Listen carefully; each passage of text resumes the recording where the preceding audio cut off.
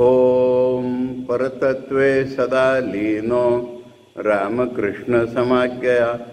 यो धर्मस्थापनरतो वीरेशं तं नमाम्यहम्।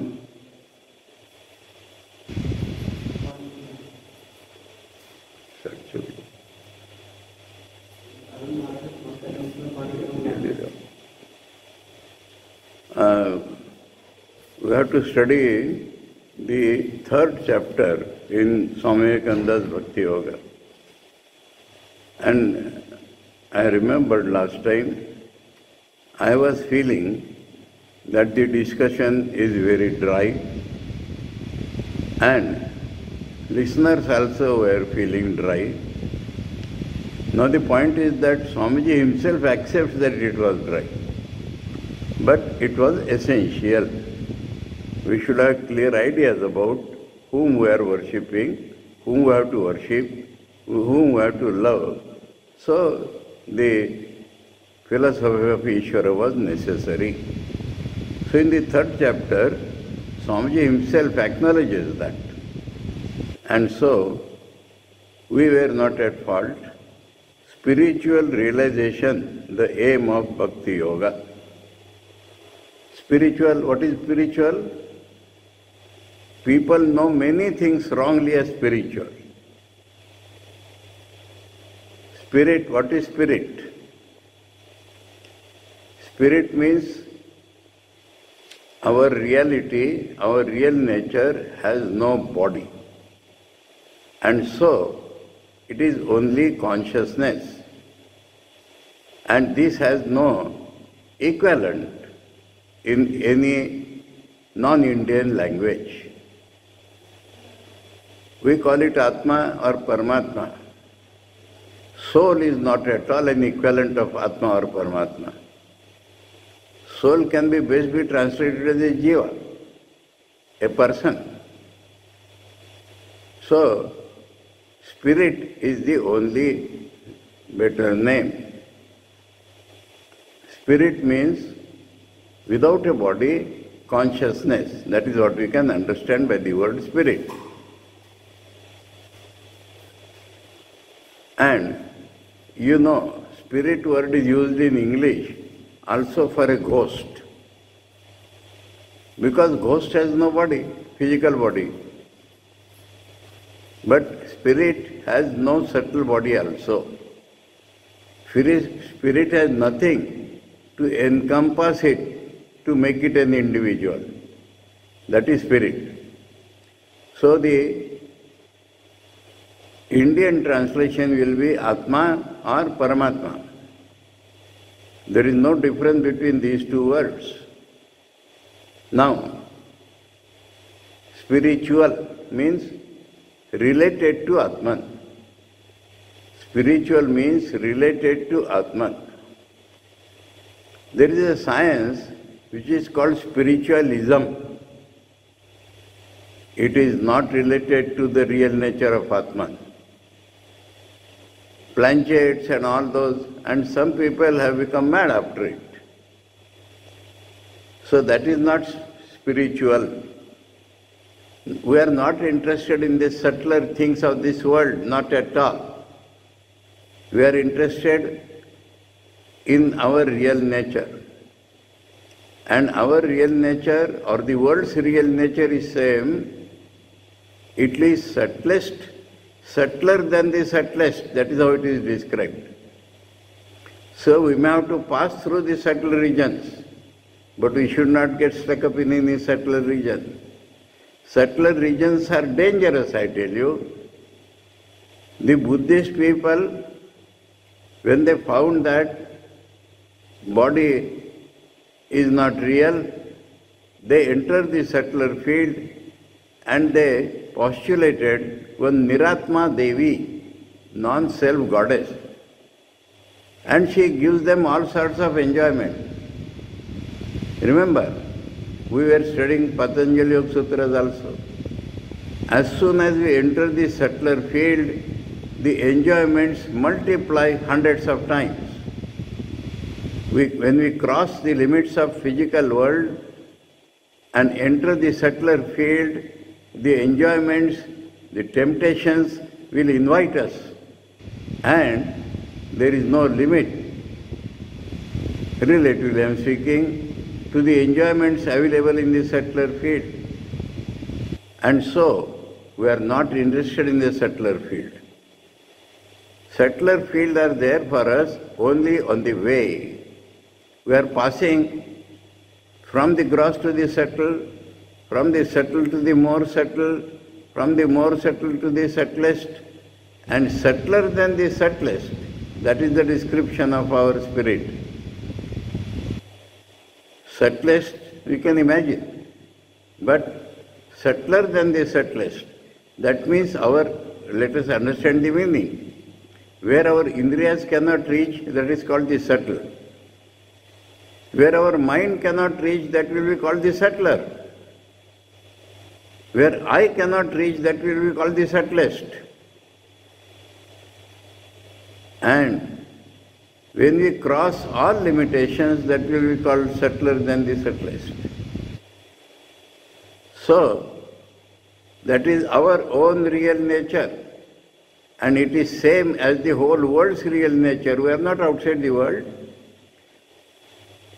And let me explain these two words to you, Atma and Paramatma. Atma means the innermost reality. Individual's innermost reality. Now, if I say my reality, if anything called I or my is sticking to it, it is not my reality. Because I am changing, my, uh, my things are changing. Reality cannot be changing. So when there is no trace of I or my, that is my reality. When we talk of reality, it should be that reality which has become independent of I or my. Though we search for my reality, but when we went to the reality, my did not remain. This is Paramatma. Now, sometimes what happens, I feel my body. In the beginning, my body itself is myself. When we evolve in our consciousness, my organs are myself. When we evolve more, my mind is myself. When we evolve more, I consciousness is myself. When we evolve still more, the joy of union with God is myself. And when we succeed in transcending all these fields, we reach the reality. That is why it is called Paramatman. Paramatman is not used in juxtaposition with Atman. But this is Atman, this is also Atman, in the Taittiriya Upanishad, this is Atman, this is Atman, this is Atman, this is Atman. So what is the ultimately real Atman? So it is called Paramatman. That is the explanation of the word Paramatman. Not that there is a Jivatman and there is a Paramatman. I consciousness itself is called Jiva, not don't call it Jivatman. Jiva. Soul. But I hope I have made it clear that the terms Atman or Paramatman are identical. Suppose we search for the reality of the world and we call it Paramatman. Can my reality be different from the reality of the world? Am I outside the world? So from that side also if I see, Paramatman itself is my Atman. And now Connected with that is spiritual. The word spiritual means connected with that spirit, connected with Atman or Paramatman, realization. Realization means experiencing and that what is the realization? Today all these things which I told you are in our imagination. But when they become real to us, when we experience them, and this experience should not be of the nature of a glimpse. Now we see, now we do not see.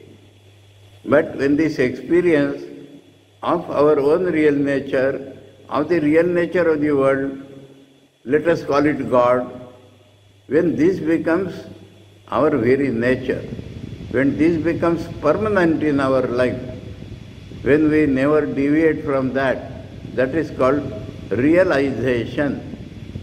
Making the imaginary into real, making the imaginary into permanently real, that is called realization. So, spiritual realization means experiencing on a permanent basis our own reality or universal reality or God, that is called spiritual realization. And that is the aim of Bhakti Yoga. So, as seen from the beginning, the difference between Bhakti and Bhakti Yoga. Bhakti Yoga means the means adopted for this realization is called Bhakti Yoga. Otherwise, bhakti is of hundreds of types. We are not interested in that. There is a sattvic bhakti, there is a rajasic bhakti, tamasic bhakti. Everybody is proud of his own bhakti. And sattvic bhakti does not lead to God. Because it is in Maya. Sattva is in Maya. So, what is the aim of this bhakti yoga? Bhakti used as a means of God realization is God realization. So, why Swami is telling this is that while doing bhakti, while practicing bhakti yoga, we must always be clear about the aim where we are going. So, in Hindi there is a couplet. Ram नाम सब कोई कहे ठक ठाकुर और चोर। जिस नाम से ध्रुव प्रहलाद तरे, वह नाम कछु और। Everybody takes Rama's name a rich man a cheat and a thief all take Rama's name but that name by which Dhruva and Prahlad crossed the ocean of samsara, that is a different type. Now name is same, name cannot be different. So the attitude is different. So, what is bhakti is almost defined by this, that that which helped Dhruva and Prahlad cross the ocean of life. And this we had studied during our study of Narad Bhakti Sutras. So, this is the aim of life, aim of Bhakti Yoga, which we should never forget for a moment. That is the very name of the third chapter. And now Swamiji starts it by telling to the Bhakta, these dry details are necessary only to strengthen his will. So Swamiji has accepted that he was telling dry details in the second chapter. But he said they are necessary only for one reason that strengthen his will. That means I am devoted to God. If I am clear about the nature of God, my devotion towards God becomes strong. My will to act in that way, my will to pursue my path of life becomes stronger when I am absolutely clear about what is God and how I am worshipping Him, how any other worship is not equivalent to that, for that only, strengthening of the will, these dry details are necessary. Beyond that, they are of no use to him. Beyond that, they are of no use to him. We should not remain stuck to that discussion. We should not remain indulgent in discussing about the nature of God. Hundreds of philosophies, hundreds of discussions. We need not go into that. They are necessary only to strengthen the will and we proceed. For he is treading on a path which is fitted very soon to lead him beyond the hazy and turbulent regions of reason. Reason, buddhi, tarka buddhi, rational reason is always gives a hazy and turbulent Hazy means it can never give a clear idea.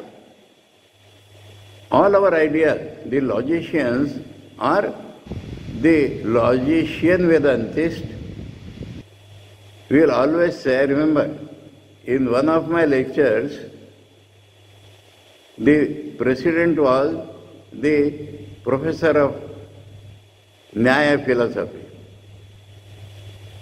And he commented in the end, the speaker was emotional at times. And then he said, emotion, however good, can never replace solid reason. Because that was his presidential talk, I had no occasion to reply to him. But those who had arranged my talk, I am talking of Cultural Institute, Calcutta. And Swami Premananji was the head and he had arranged this talk long, long back. 2001, somewhere November or somewhere. And he asked me to make a paper out of my talk after that. So I replied in that paper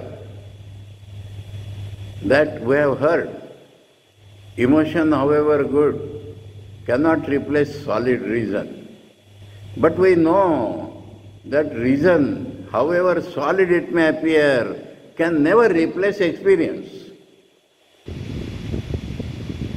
And we are also clear that emotion is not the way, not at all. My Guruji used to say emotion is biological. Feeling, feeling in the depth of the heart is much nearer to experience than reason. Reason can never give the exact idea, though they feel solid reason. Swami Vivekananda, in his beautiful Bengali poem on Samadhi, said that more than this I cannot tell. Avang manasa gocharam. It is beyond my speech and mind. But not that people cannot understand it. Bojhe pran bhuje jar. Pran stands for the heart here. Pran bhuje jar means one who realizes only makes the correct idea. No correct idea intellectual is possible till you realize it. Please understand, reason has a great limitations. So here Swamiji is telling, beyond the hazy and turbulent regions of reason, turbulent because there is no end to arguments. If I say like this, you say like that, he says like that, so turbulation is only the result. And the net result will be hazy idea not correct idea. All those who are mad after rationalism should understand this. Then what is beyond? To lead him, he is treading on a path which is fitted very soon to lead him beyond the hazy and turbulent regions of reason, to lead him to the realm of realization. Realm of realization. That means we re- realize little truth in a little lower sense, then we realize it in a higher sense, then we realize it in still higher sense. So there is a region called realization. And we are, our Bhakti Yoga is leading us to that region. And then we reach the goal ultimate. He soon, through the mercy of the Lord, now, this is not a ephemeron, it is not just added clause. We have seen in various talks that the mercy of the Lord is at the back of our realization. It is Lord who is going to manifest Himself. And so, unless there is a mercy of the Lord, the realization does not take place. It does not mean we, don't, we have to stop our effort. It appears as our effort. Even our right effort is mercy of the Lord. And an individual, an individual automatically is egoistic, selfish and narrow. If anybody is different from this, it is the mercy of the Lord in him. Lord is universal. Lord has non-ego. And Lord is never contracted. So, it is the mercy of the Lord that we are walking on the right path. And then, through the mercy of the Lord, reaches a plane where pedantic and powerless reason is left far behind. Pedantic appears scholarly. Terms, big, big terms they use. But it is powerless to proceed. Reason is left far behind. And the mere intellectual groping through the dark gives place to the daylight of direct perception. Groping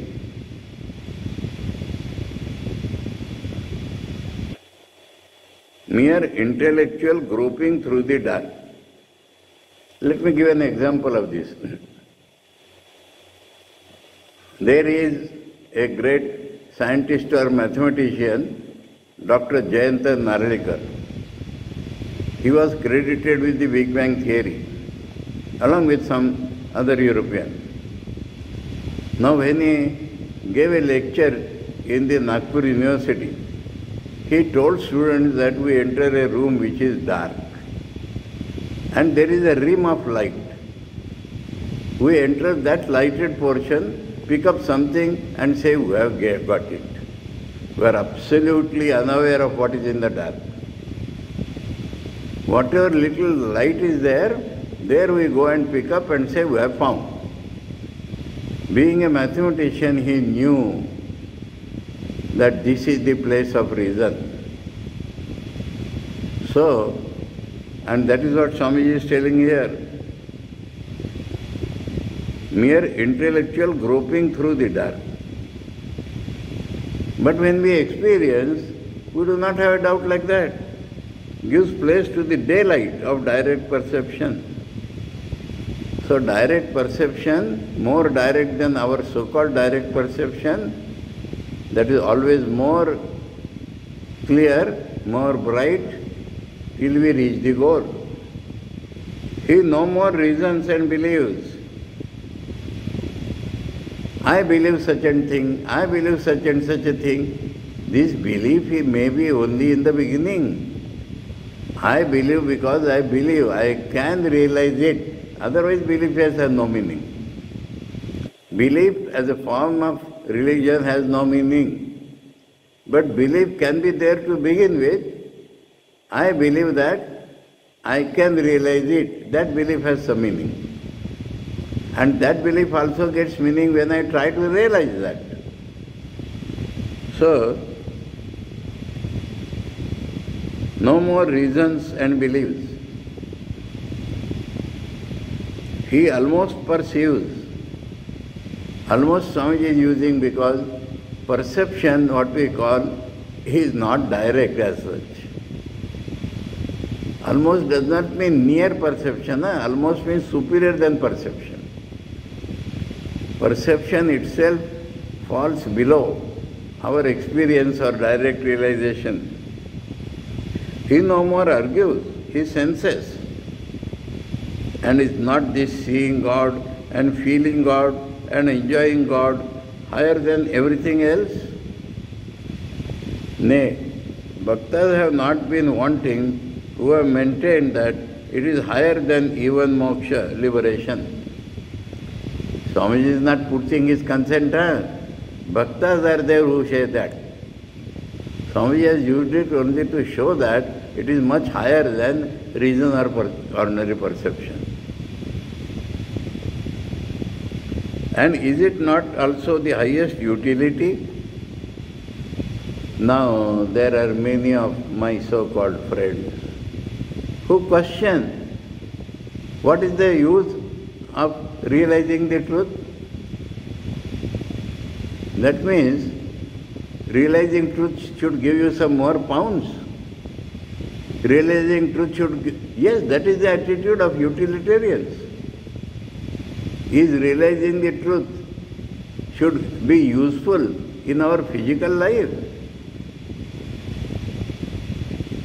But there are people like that. Now Swamiji is telling it is of the highest use. Highest use means our faculty of sorrow disappears forever. Highest use because we know our real nature which is beyond sorrow. So from that point of view, if you try to judge and if you properly understand, yes. So not the ordinary utility. Oh God, give me this, oh God, give me that.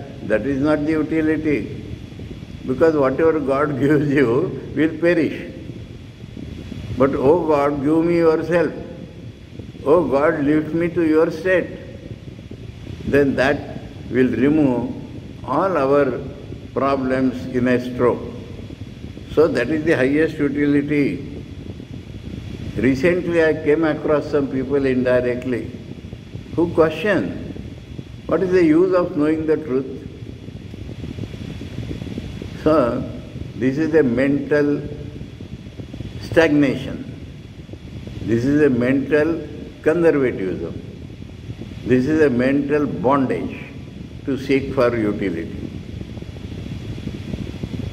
But if they understand that it is the highest utility, there are people, and a good many of them too in the world, who are convinced that only that is of use and utility which brings to man creature comforts.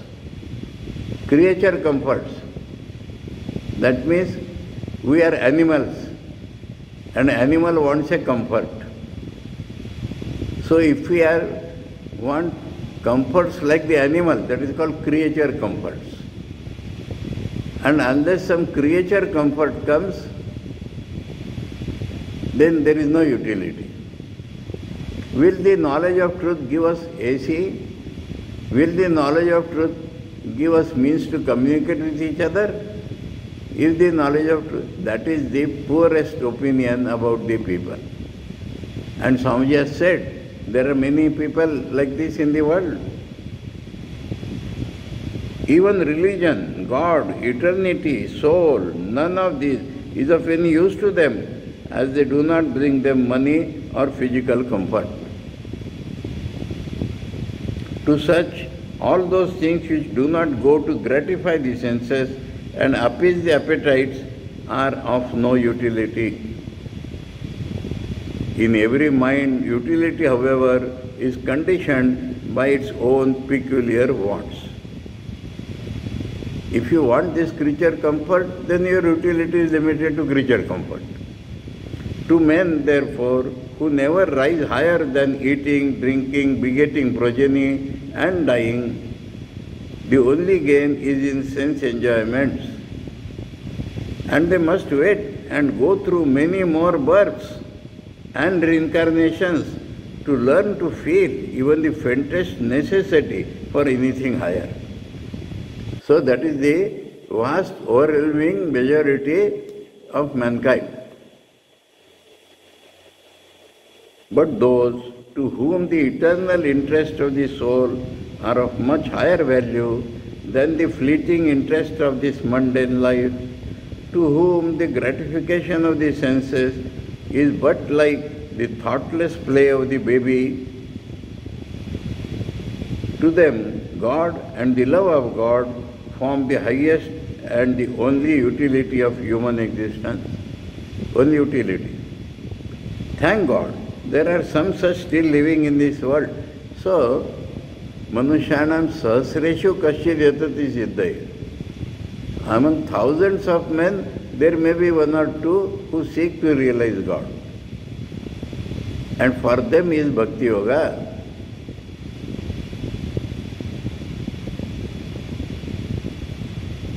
Thank God there are some such still living in this world of too much worldliness.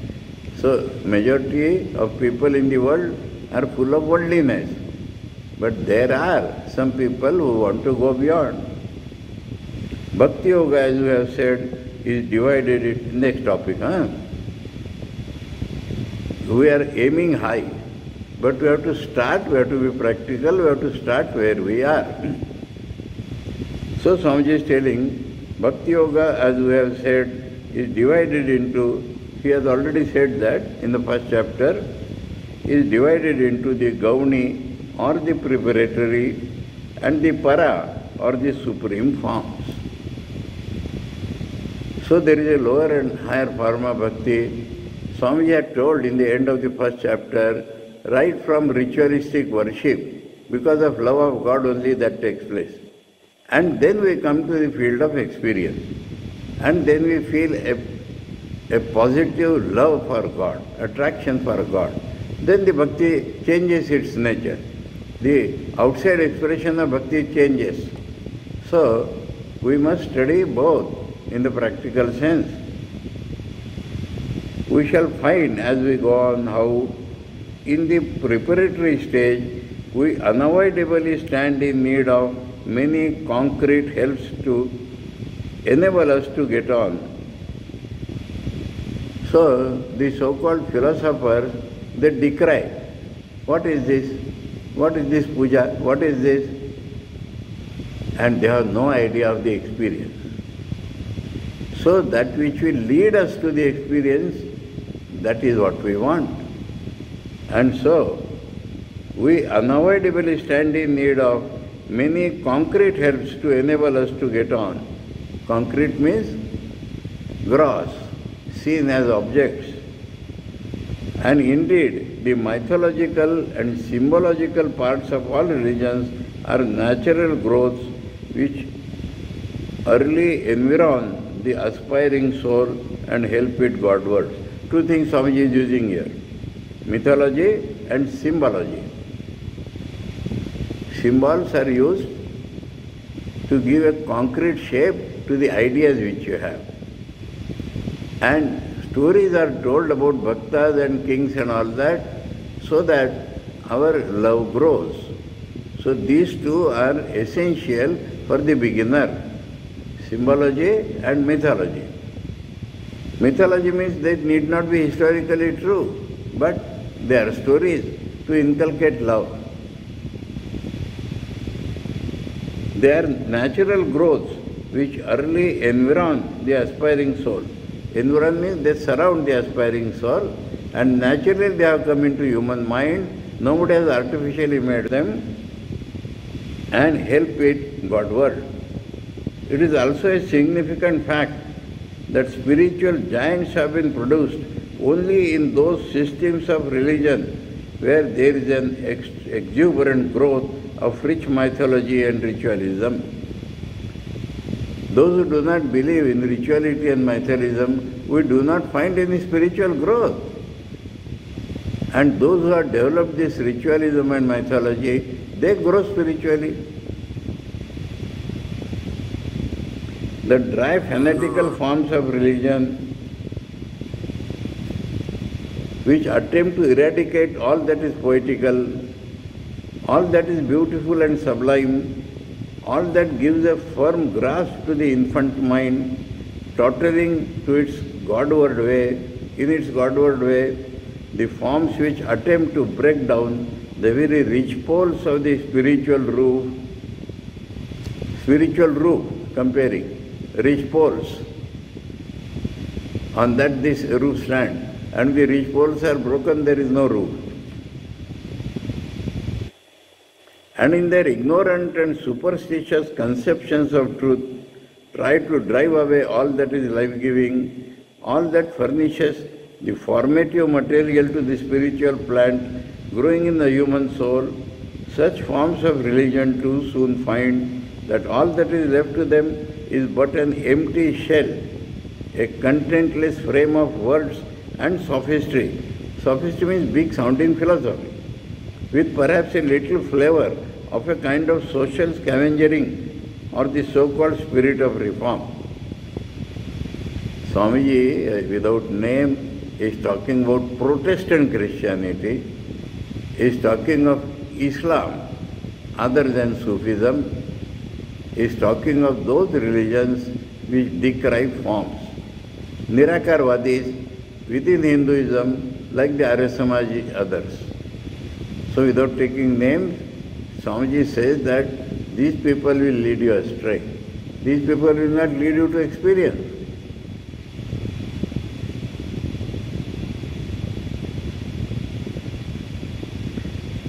Spirit of reform. Social reform becomes their aim of life.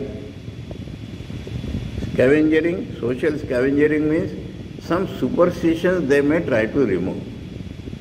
Some superstition they try to remove and some social reform they do, but that is not religion. Religion is the experience of God.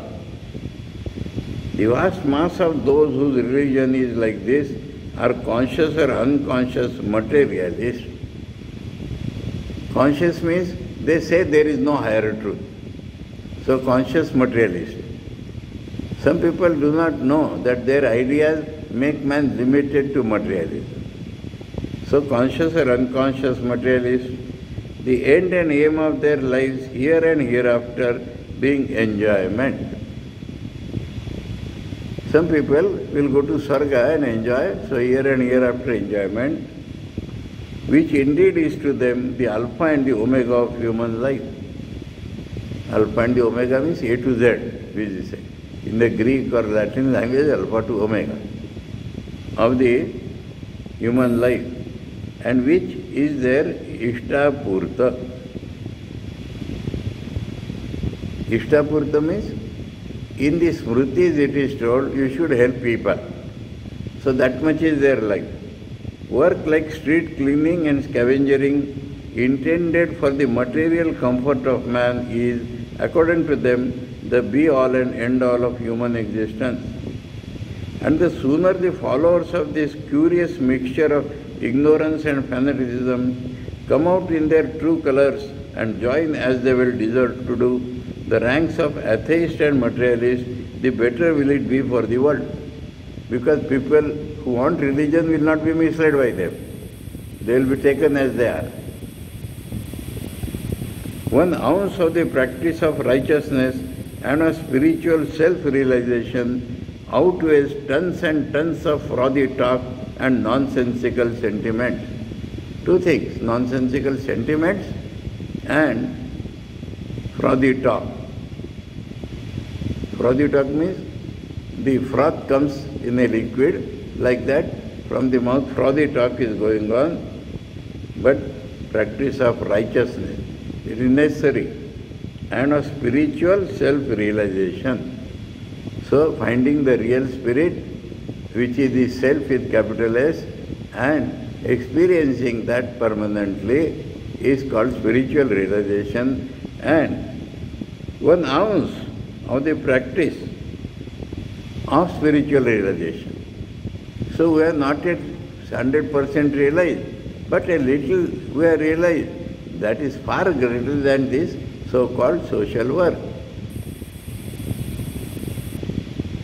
Show us one, but one gigantic spiritual genius growing out of all this dry dust of ignorance and fanaticism, that is dry dust of ignorance and ignorance results in fanaticism. And if you cannot close your mouths, open the windows of your hearts to their clear light of truth, to the clear light of truth, and sit like children at the feet of those who know what they are talking about, the sages of India.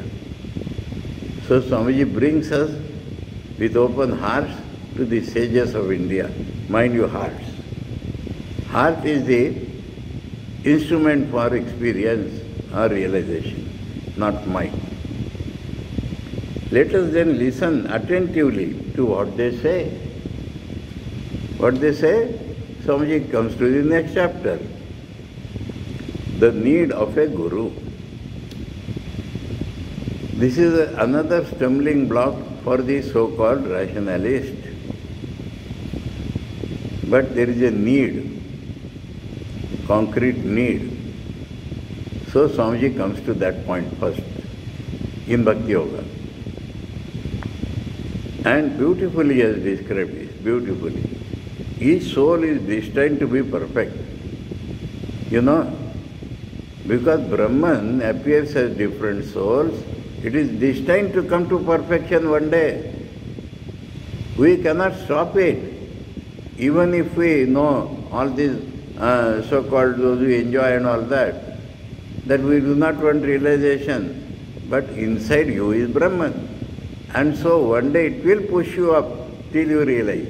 That is the truth, reality which Swamiji knows. So he accepts. He, every soul is destined to be perfect and every being in the end will attain the state of perfection. Whatever we are now is the result of our acts and thoughts in the past and whatever we shall be in the future will be the result of what we think and do now. So though he talked of Ishvara grace, he said, we are the makers of our destiny. So we'll have to make self-effort to come to that. But, there is a big but there. But this, the shaping of our own destinies, does not preclude our receiving help from outside. Those we have to help ourselves, though we have to reach the goal by our own effort, but this does not mean that we will not get help from outside. Actually, this is not outside. The Guru is inside, but he appears outside. But this, the shaping of our own destinies, does not preclude our receiving help from outside, nay, in the vast majority of cases, such help is absolutely necessary. Vast majority means there may be a few exceptions, and we should not imagine that we are the exception. Exceptions are avatars, or people of that category. They come down from God to man. They may not require outside help.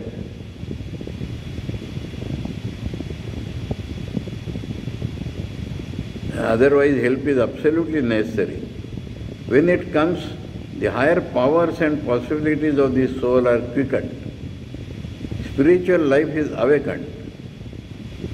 Growth is animated and man becomes holy and perfect in the end. Let me quote an example. I had a friend known to me. And when I decided, when it came as a decision that I would be leaving home and becoming a sannyasi. That friend says that your face is to the east, my face is to the west. I said, if you feel like that, what can I do? He was the very great all-rounder, resourceful, popular student. Now, destiny was working. He was in Mumbai. Our house was in Gwalior. From Mumbai he was going to Gwalior to make final arrangements for his own marriage. Now, the train before his train derailed. So his train was diverted via Nagpur, otherwise Nagpur never comes in the picture. Bombay to Gwalior. No, he was very resourceful as I told you. And though east and west, he had an attachment to me. So he thought, let me visit him, visit me. And he made inquiries that even in diverted journey, up to three days break journey is allowed. Then he took a taxi on the station because the train was to halt at Nagpur for a longer time and told the taxi man, I will go to the ashram. You have to wait for 10 minutes. I will find out whether I can stay in the ashram. If not, I will come back with you and join the train. I entered the ashram, I was in a side building, another building of the ashram. From a side gate and his taxi came from the front gate. And he told me in short such thing has happened, can I stay in the ashram? I said, surely you can stay. But our, my Guruji was walking in the veranda. He is there walking, let us go to him and ask him So I went and told in a short. Then he asked my Guruji, can I stay in the ashram? Imagine the reply. Is break journey allowed in diverted trains? Can you understand? I will use the next sentence, then it may perhaps you understand. How many days can they stay? How many days break journey is allowed? You understand? And no question from our side whether you can stay or not. You think of yourself.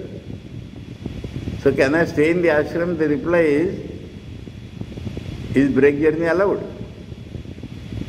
How many days can I stay? How many days break journey is allowed? Okay, these are external things. He stayed for three days. And on the third day of his departure, I have never seen him weeping in life. And while taking leave of my Guruji, he wept profusely and said, one friend you are supporting, the other you are driving away. My Guruji told, I am not driving away anybody. He knew he is going for marriage. You go. Don't be afraid, you go. I clearly see that the pattern of your life is different. But I will support one friend as I supported the other. Don't fear. What happened to the East and West? So all his spiritual sanskaras were deeply hidden in him. He was not aware of that. And in the presence of this great man, all of them came on the surface. This is what Swamiji is telling here. I am giving you a direct example of that. When it comes, the outside help, the higher powers and possibilities of the soul are quickened. Spiritual life is awakened. Growth is animated. And man becomes holy and perfect in the end. I gave you a concrete example. Anyway, let me not pretend. I am trying to suppress some fact. I am talking of my own brother. And I held him later on as greater than me. He lived with his wife for 55 years without sex. And he had all the experiences of the spiritual life.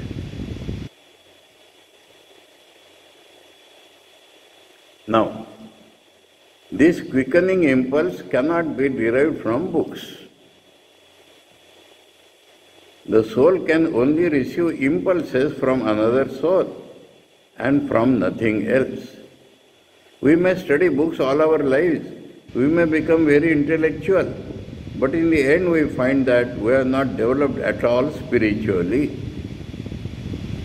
It is not true that a high order of intellectual development always goes hand in hand with a proper proportionate development of the spiritual side in man. In studying books, we are sometimes deluded into thinking that thereby we are being spiritually helped. But if we analyze the effect of the study of books on ourselves, we shall find that at the utmost it is only our intellect that derives profit from such studies and not our inner spirit. This inadequacy of books to quicken spiritual growth is the reason why, although almost every one of us can speak most wonderfully on spiritual matters, when it comes to action and the living of a truly spiritual life, we find ourselves so awfully deficient. To quicken the spirit, the impulse must come from another soul. The person from whose soul such impulse comes is called the Guru, the teacher. Now understand what is Guru. The person from whose soul such impulse comes is called the Guru. The teacher. Teacher, English translation for Guru. And the person to whom whose soul the impulse is conveyed is called the Shishya, the student.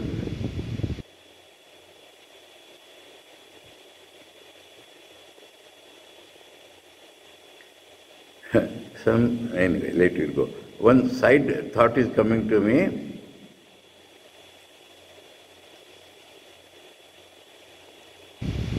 Sikh religion, Sikh religion. Sikh is an apabhramsha of the word Shishya, nothing more. One who has accepted a guru is called Sikh. Anyway, it's a side thought, but we, when the word Shishya came, I remembered this. To convey such an impulse to any soul, in the first place, the soul from which it proceeds must possess the power of transmitting it, as it were. Transmitting it as it were, because is uh, arousing it, not transmitting it, to another. And in the second place, the soul to which it is transmitted must be fit to receive it. That is the problem. The seed must be a living seed and the field must be ready plowed. And when both these conditions are fulfilled, a wonderful growth of genuine religion takes place. The true preacher of religion has to be of wonderful capabilities and clever shall his hearer be.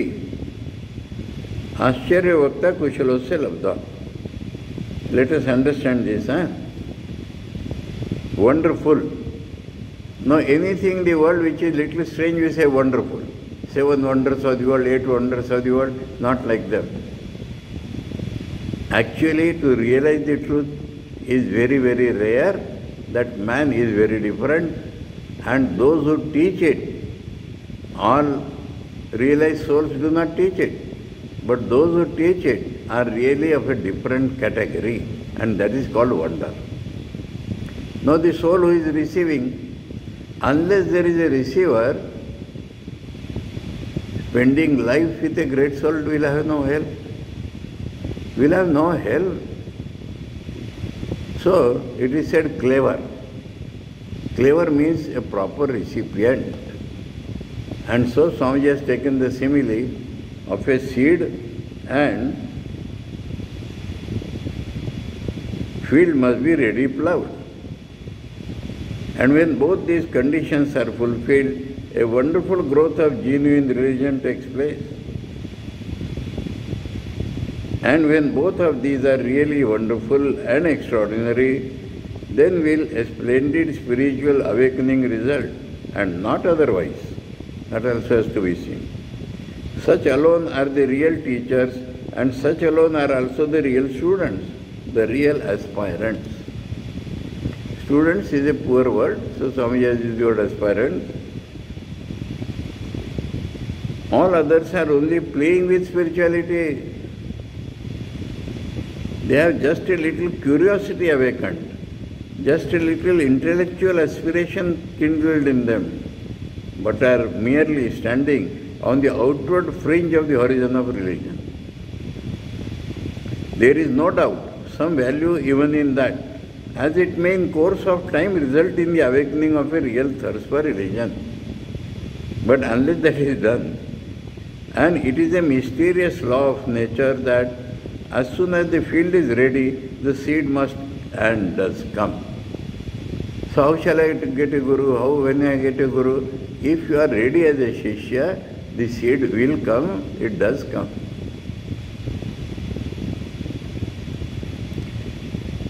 As soon as the soul earnestly desires to have religion, the transmitter of the religious force must and does appear to help that soul. That is this what Swamiji calls mysterious law of nature. When the power that attracts the light of religion in the receiving soul is full and strong, the power which answers to that attraction and sends in light does come as a matter of course. In the Christianity, there is a sentence. Terms are little different, we should understand. The seeking sinner meets the seeking Savior. Sinner is the aspirant, he is seeking. And the Guru or the Savior is seeking. So the seeking sinner meets the seeking Savior. There are, however, certain great dangers in the way. Hmm? We'll study these dangers in the next class. Up till now everything appeared sweet. But there are dangers. Dangers in the sense whether the man can give spirituality, whether the Shishya can receive spirituality, that is the dangers. And that we shall study in the next class.